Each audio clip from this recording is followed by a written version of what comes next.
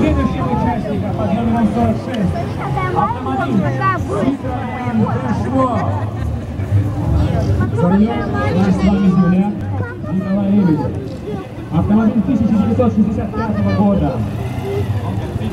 Citroёn Дэшво получил прозвище всего лишь две лошадки.